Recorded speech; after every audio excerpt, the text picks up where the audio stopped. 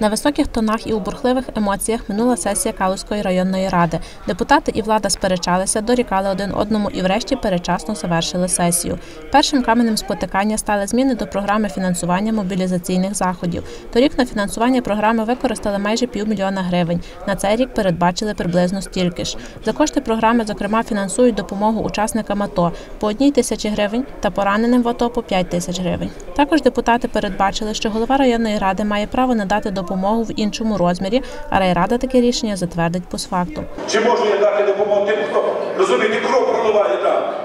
Боже, ви хоч раз були поранені, ви бачите, які в якому вони стані?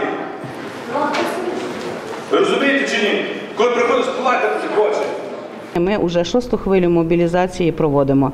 Районна е, адміністрація дійсно законом покладені обов'язки за мобілізаційні заходи на райдержадміністрацію, так як і в галузі освіти і науки, і охорони здоров'я.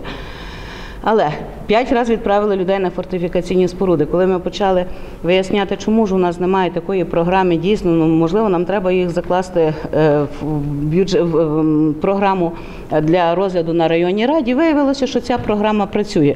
Я е, розпорядник коштів здійснюю фінансування, коштами розпоряджається районна рада. І тому отакий виник трошки незрозумілий конфлікт. Я думаю, що це дійсно е, почалися вибори. Бабій участі у виборах не приймає. Наступне, що викликало бурхливі дискусії, фінансування Калузької центральної районної лікарні у наступному році. Медичний заклад належить до спільної медицини, яку фінансує місто і район. Саме на відсотку коштів на утримання лікарні сперечалися районні депутати. Рішення з першого разу не ухвалили. Такого нерозуміння від вас, щиро кажу, ми не чекали. Це ставить під загрозу роботу закладу. Після наполягання медиків депутати спочатку повернулися до питання, а потім згадали про поіменне голосування. Однак проголосувати не встигли, адже депутати із фракції Батьківщина у повному складі покинули сесійну залу. У кулуарах пояснили, питання не було належним чином підготовлено і обговорено. Приймати на сліпо таке важливе рішення не погодилися.